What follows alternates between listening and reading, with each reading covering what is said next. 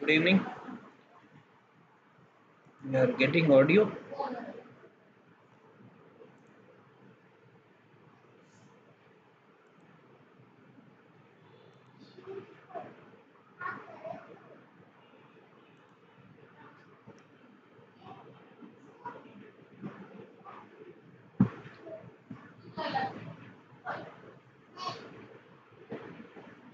So welcome to today's uh, lecture.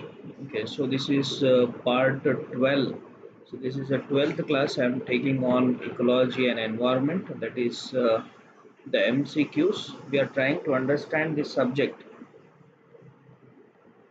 through MCQs. Okay, so in this we are taking all the important topics and the questions related to these topics and trying to answer them and also we are trying to understand how we can eliminate the wrong options what can be the critical issues in uh, answering a particular topic what type of formulation of the questions will be there so that uh, so that your accuracy in the exam is going to increase.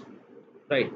So this series as i told you will be continuing. Okay so you can just share this uh, videos or share the link of the videos and the timing is almost fixed. We will be doing this every day at 11 pm 11 to 11:45 like that. This is general timing of the class.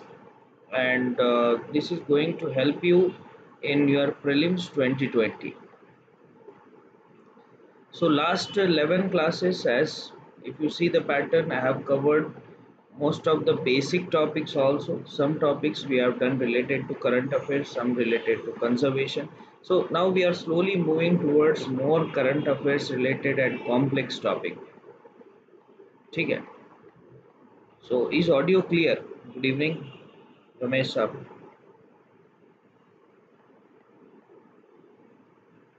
Now for those who are new myself md rizwan ahmed i am teaching live at Unacademy plus. These are the structured courses for prelims and mains faculty for the civil services examination and I have been teaching for civil services aspirants and this exam for last 14 years. And uh, my areas of specialization as most of you are aware is uh, geography geography optional ecology and environment disaster management and ethics. Okay so these are the topics which generally i teach in offline as well as online Okay, so if you are going for the subscription of the plus courses you can use my referral code that is uh, okay you will get an appropriate discount accordingly in your subscription fees. Now let us begin with the today's class with uh, this question obviously these type of questions are expected in your prelims also where you have a lengthy paragraph and out of that description provided you have to conclude something. Okay so these sometimes may appear like a story for you okay? But the questions are relatively easy. If you look carefully you can easily identify the correct option. Now, along with the iconic great one-horned rhino, the park is a breeding ground for elephants, wild water buffaloes, swamp deers. Over the time, the tiger population also has increased, and uh, that's the reason why it is declared as the tiger reserve also. It is declared as the tiger reserve also, and uh, the park is recognized as an important bird area. You say endemic bird area or important bird area by an international organization known as BirdLife International for conservation of the avian species. Okay, it means that you have been given in this uh, paragraph what are the characteristic of the protected site characteristic of protected site and then this description is related to which of the national parks so we have given here manas Manas National Park, then Nameri National Park, Orang National Park, and Kaziranga National Park.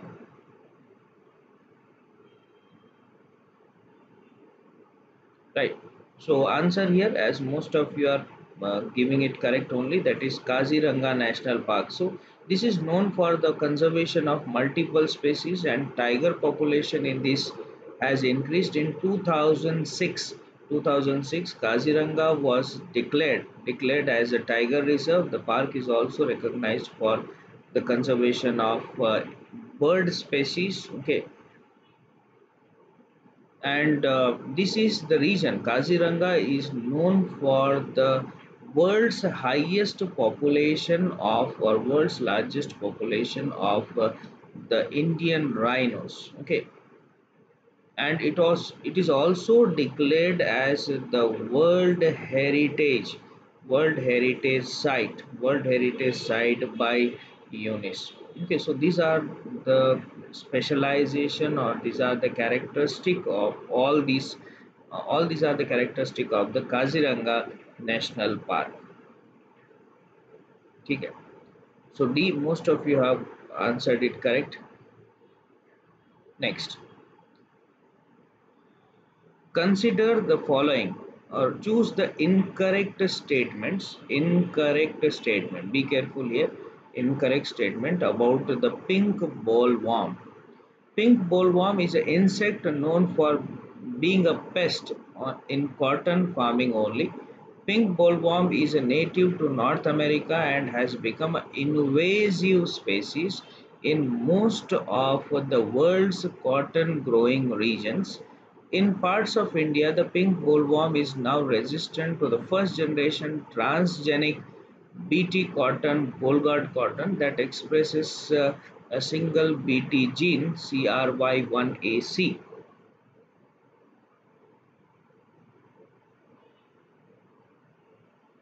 Which of the following is? Yes incorrect. We are talking about incorrect here. So first statement is correct. Okay pink bollworm is an insect that is known as a pest in cotton farming only right?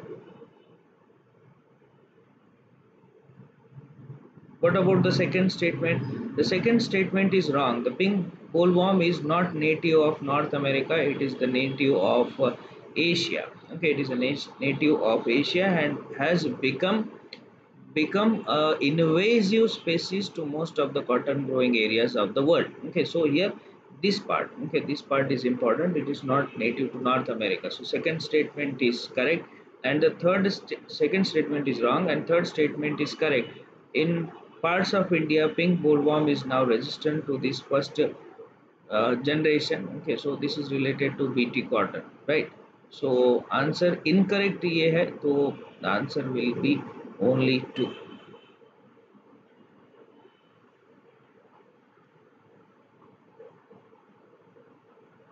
now let us see the third question consider the following statements one dhan vikas karyakram is the initiative launched by initiative launched by Ministry of Environment, Forest and Climate Change targeting livelihood generation for the tribal populations by harnessing the wealth of the forest. Implementation of One Vikas Karyakram is now One is through Van Dhan Kendras which help in providing skill upgradation and capacity building training. Which of the statements is or are incorrect?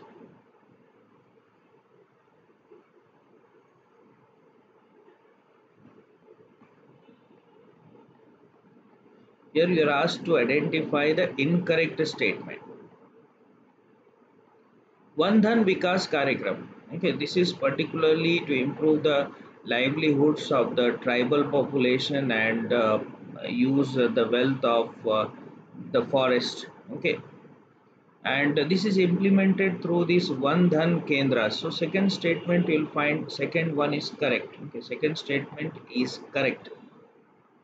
Okay, first statement is incorrect okay? First statement is incorrect. So answer here is a. You are asked about incorrect statement so answer is a. Why it is so? Because this is not launched by ministry of environment. What is the ministry here? ministry of uh, ministry of what? Tribal tribal affairs. Okay. Van Dhan karyakram is launched by launched by the ministry of tribal affairs.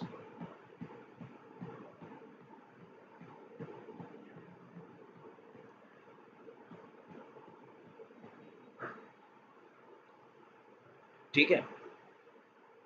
Just please make a note of this. This is very important for you. Okay. So livelihood van dhan means it is the uh, resources. Dhan we can say it is wealth. Okay. Van is forest.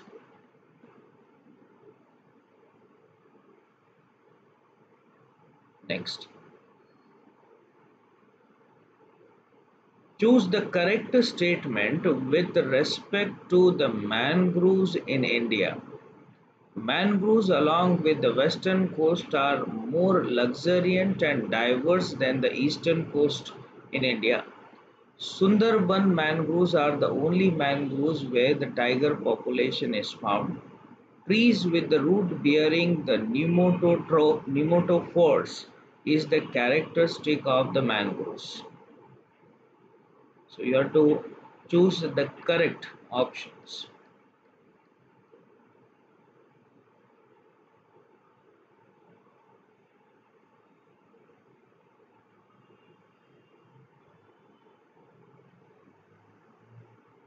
Hmm?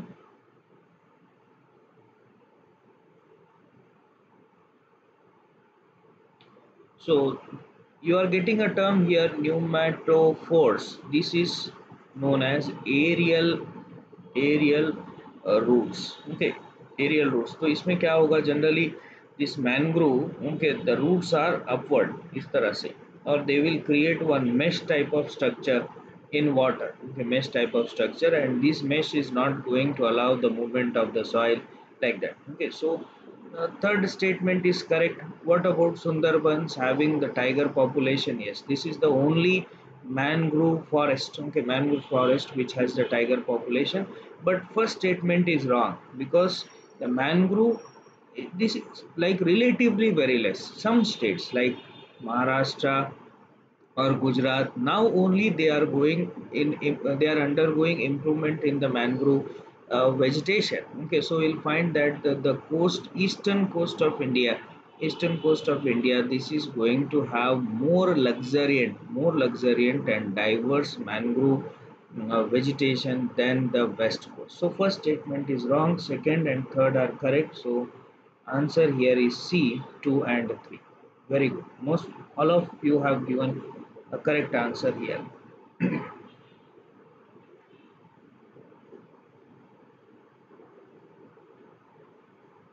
Next. Which of the following are naturally occurring substances that are responsible for depletion of ozone? So the question is on ODS. ODS, but what naturally occurring ODS? Naturally occurring ODS. What is ODS? Ozone depleting substances. Right. So chlorofluorocarbons, methane, hydrogen, chlorine monoxide, and nitrogen oxide NOx.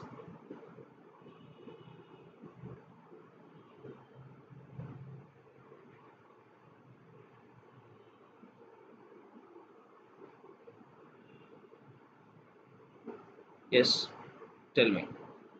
What is ozone depletion? Those elements or those uh, we can say substances that have ability to break ability to break this bond bond of oxygen and convert oxygen ozone into ozone into O2 and O. This will be known as a ozone depleting substances. Okay, so generally chlorine is considered as ozone depleting substances and this chlorine is not naturally occurring. This chlorine will be as a compound it is used in refrigeration. ना? So when I say chlorofluorocarbon, chlorofluorocarbon doesn't occur naturally. This is a compound. Okay, this is a compound which is uh, uh, out of a chemical reaction. Okay. So except one. Okay, except one. So here first is not uh, naturally occurring, but all the remaining. Okay, all the remaining that is methane, hydrogen. So they have they have effect on they have effect on uh,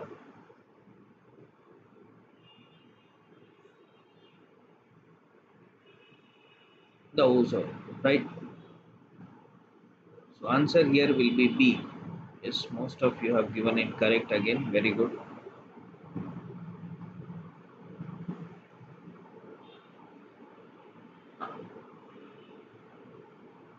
Next Consider the following statements. Water pollution by mercury causes dropsy in fishes.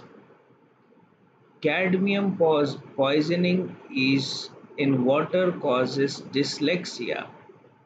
Lead in water bodies causes itai itai. Okay, we have discussed this in other format previously if you are remembering. Yes, you remember? Pawan, Ananya, पिछली बार हमने ये देखा है but we have discussed in different form जैसे mercury will result in what Minamata okay Minamata but now here it is something like it is going to give you a symptom okay symptom of the impact on other species also which of this statements are correct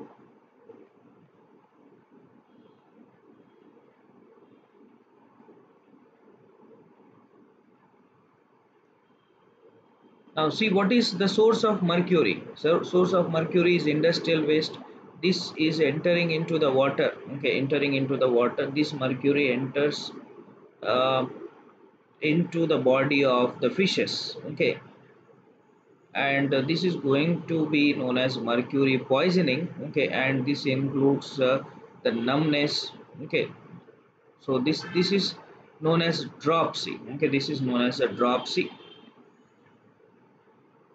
right. So first statement is uh, correct. So muscular weakness. Okay. Muscular muscular weakness is caused by okay caused by mercury and this this condition may exist in any organism where this mercury is entering. So it is there in fishes it is there in human beings. In case of minamata you will find that it is ataxia numbness of hand and feet, general muscle weakness, narrowing of the uh, field of vision. Okay, all these will be the features of Minamata disease. Minamata is also referred as Chisso-Minamata. Chisso-Minamata disease. Okay, the term one and the same. Right. So dropsy is nothing but um, muscular weakness. Okay, muscular weakness.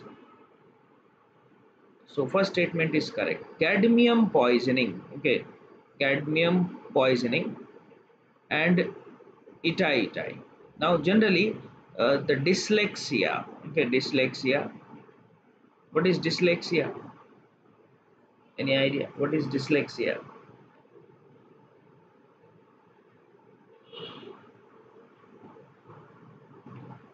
Yes. Dyslexia is a disorder in which there is difficulty in identifying the words, understanding the words, speech, sound, learning abilities. Okay, letters. Learning disorder है ये letter identify करने में letter को decode करने में okay so there is a language uh, difficulty in processing the information difficulty in processing the information this is known as dyslexia जैसे आपने वो uh, what you say uh, Taare Zameen Par. Okay, so you have seen uh, watched that movie. Okay, so that that is the symptoms of dyslexia where that boy, yeah, was uh, having a difficulty in understanding the word. Yeah, ulta palta dikta hai is tarah se. So this is a dyslexia. Right, and dyslexia is not caused by cadmium. Dyslexia is caused by lead poisoning. Okay, it is caused by the lead poisoning okay so इसमें काफ़ी this this this was there in news also when there was a issue of this uh, quality of these noodles do you remember this sometimes back जो most popular brand and uh, we have uh, the noodles in India which is regular breakfast of the children's also and this were having this were found to be contaminated by uh, contaminated by lead. Okay so the Maggi noodles. Okay Maggi noodles. So yeah. So this is lead. And uh, the third one is incorrect. Okay third one is here it is what cadmium. Okay cadmium in water body is going to cause the itai itai disease. Itai itai is a japanese disease which is uh,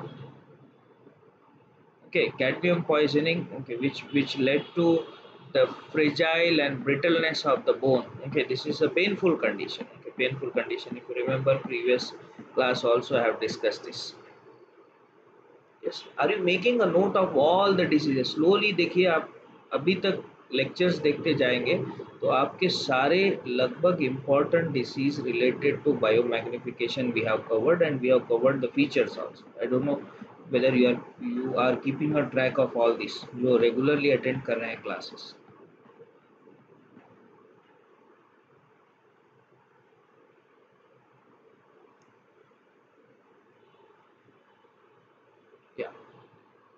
next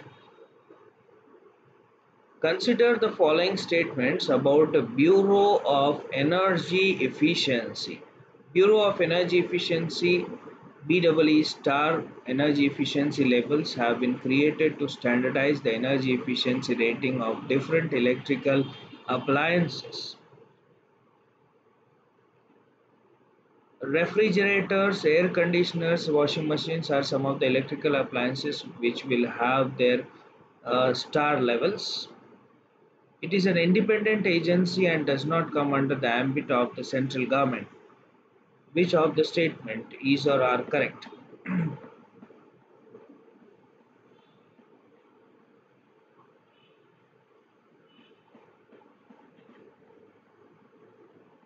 hmm?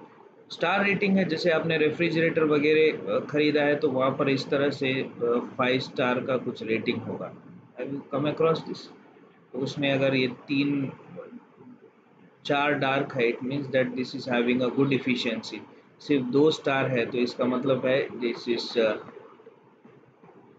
Ministry of Power. Okay, it comes under Ministry of Power and uh, Government of India, and it was created.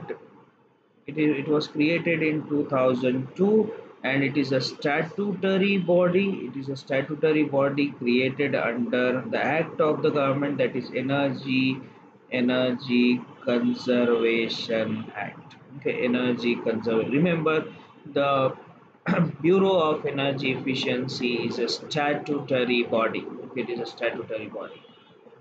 okay so coming under ministry of power not an independent agency it comes under the central government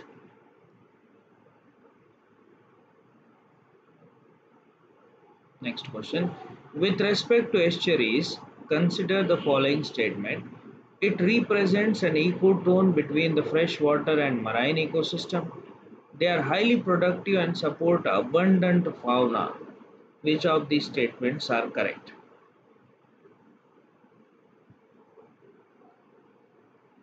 what is estuary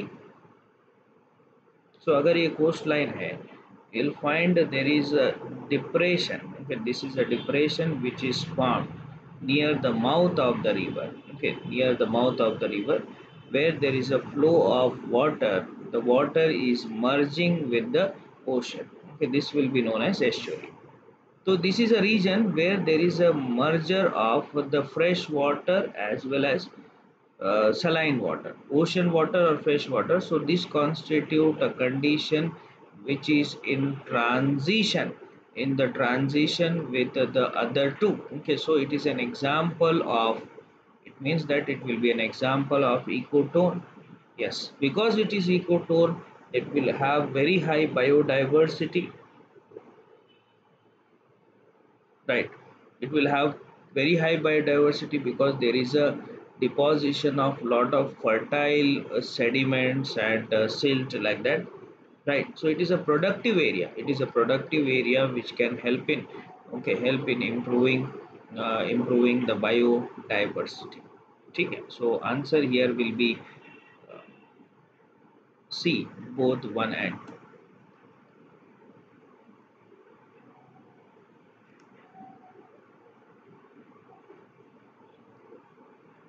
next question. Consider the following statements about cryopreservation.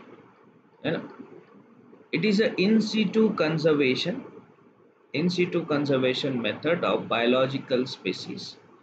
It involves enhancement of all metabolic processes and activities.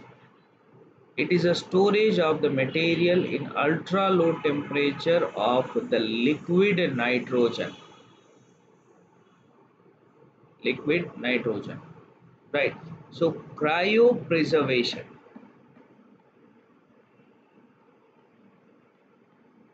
Now cryopreservation in the sense when you preserve anything at extremely low very low temperature this will be known as a cryopreservation. So this can be done by uh, having uh, you can say a setup in our regions or this can be done in naturally cold regions like polar region. So arctic or antarctic region we can go for the cryopreservation also.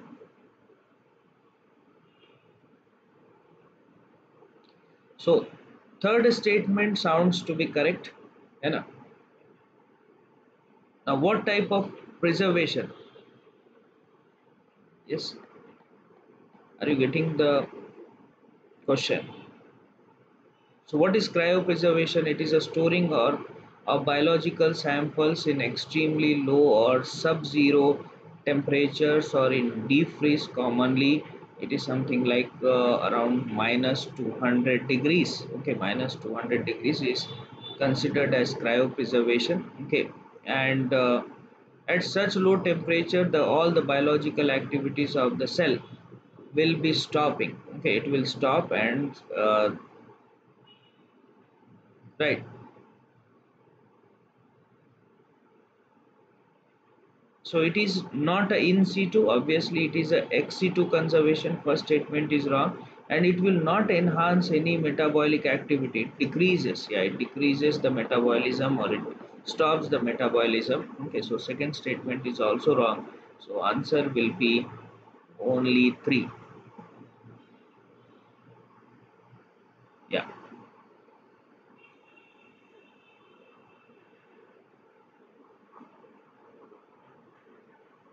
Next, consider consider the following statement. IUCN has observer and consultative status at the United Nations and plays a role in implementation of several international conventions on nature and conservation of biodiversity. IUCN Congress have produced several key international and environmental agreements including Convention on Biological Diversity, Convention on International Trade in Endangered Flora and Fauna, and World Heritage Convention and Ramsar Convention on Wetland. IUCN has a membership of around 1400 governmental and non-governmental organizations. Yes. First is what is the status of IUCN? IUCN has a consultative status, observer status. Okay, United Nation में देखेंगे तो you have with respect to environment. Okay, IUCN. IUCN is an observer to the United Nations. Okay, observer to the United Nations. Right. So first statement is correct. Yes, it has played a very important role in all these conventions because IUCN collects the data collects the data and provides this data for the implementation and formulation of conventions and protocol. And IUCN is considered as the most diverse organization most diverse organization that can uh, that is having a membership okay membership of uh, uh, various non-governmental governmental organization academicians uh, individuals heads of the governments etc so answer is d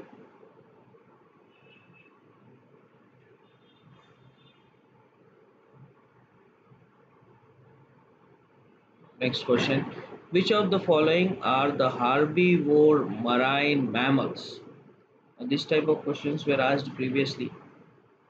Now also possibility is there that sea cow sea lion seals and manatees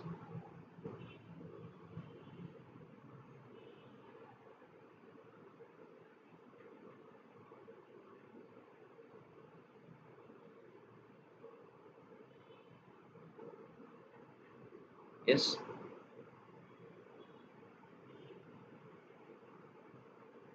Now sea cow manatees dugong that is known as and uh, sea lion. Okay one two four. They are herbivores. Okay they are herbivores. They are herbivore animals. They feed on the grasses. Okay they feed on the grasses seals they are feeding on fish okay they are feeding on fish they are the carnivores okay so answer will be 1 2 and 4 right so these are the questions that i'm covering today so 10 we have done again we'll meet tomorrow we'll cover 10 more